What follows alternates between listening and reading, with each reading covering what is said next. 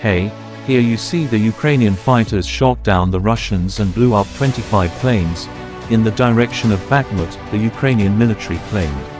In the video footage presented here, you can see that a missile was fired from a Ukrainian soldier with body camera footage and, the Ukrainian soldier's missile hit, a well-equipped Su-25 fighter jet of the Russian army and the fighter jet crashed immediately they fell to the ground falls.